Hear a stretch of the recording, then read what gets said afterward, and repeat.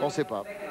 Alors là, maintenant, c'est un grand moment parce que l'homme que vous voyez là, c'est un garçon qui avait enthousiasmé Bercy au championnat du monde, Andreas Becker, grand spécialiste des lâchers de barre à la barre fixe, avec euh, notamment, je ne sais pas s'il va le faire, mais L'enchaînement des Kovacs, alors on va voir s'il va réussir. deux Kovacs consécutifs. Voilà, normalement c'est son programme. Ici Allons, déjà un. Katchoff, Deux. deux Katchoff enchaînés. Après changement de phase direct.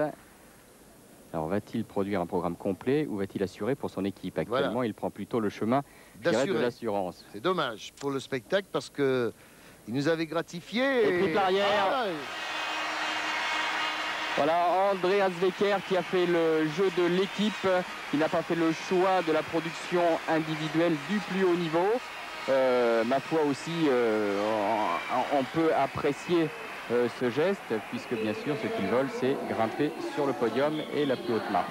Andreas Wecker qui était, euh, ne l'oublions pas, euh, vice-champion olympique à Barcelone, à la barre fixe, et qui a été de nombreuses fois sur les plus hautes marches, aux anneaux et à la barre fixe. Et là, il est particulièrement heureux d'avoir assuré. Alors peut-être qu'il n'a pas pris le risque, comme vous le disiez, Michel, de faire deux lâchers de barre spectaculaires comme le Kovacs, et qui est un mouvement à haut risque et qui pourrait pénaliser son équipe. C'est la raison pour laquelle certains gymnastes sont un peu sur la réserve et d'autres, en revanche, euh, peuvent exploiter au maximum euh, leur tempérament de, de gagneur. Wecker, c'est un petit peu là, premier, premier franchissement, Voilà, Katchoff.